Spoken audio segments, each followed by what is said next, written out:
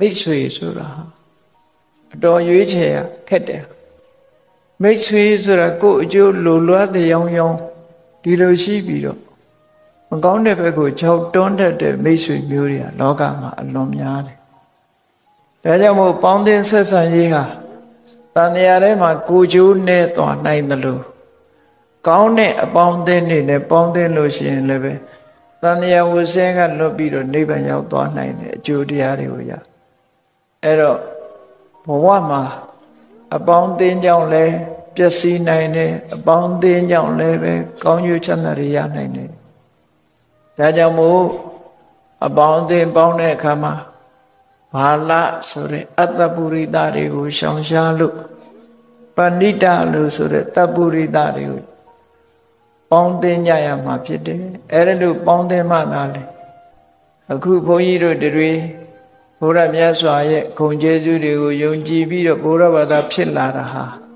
မြတ်စွာဘုရားနဲ့အပေါင်းသင်းလုပ်တယ်လို့ပြောလို့ရတယ်ဘုရားကိုယုံကြည်တာဟာဘုရားနဲ့အပေါင်းသင်းမှုပဲအဲ့ဒီသူတော်ကောင်းနဲ့ပေါင်းသင်းမှုအတွက်ကြောင့်မလုံးတဲ့နာနဲ့လုံးတဲ့နာတွေခွဲခြားသိကြတယ်အကောင်းနဲ့အဆိုးခွဲခြားသိတယ်ပြစ်ရှိတာနဲ့အပြစ်မရှိတာခွဲခြားသိကြတယ်အဲ့ဒီလိုခွဲခြားသိကြသည့်အတွက်ကြောင့်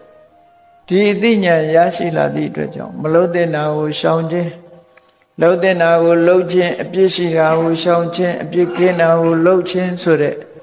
ကောင်းကျိုးချမ်းသာကိုရစေတတ်တဲ့လမ်းကြောင်းမှုမှန်ကိုရောက်ရှိသွားပြီနောက်ဆုံးနိဗ္ဗာန်ချမ်းသာကနိဗ္ဗာန်ချမ်းသာကိုရရှိနိုင်တဲ့အဆင့်ထိအောင်သူတော်ကောင်းတရားတွေကိုကျင့်ကြံကြိုးကိုပွားများအားထုတ်နိုင်တဲ့အနေအထားမျိုးဟာ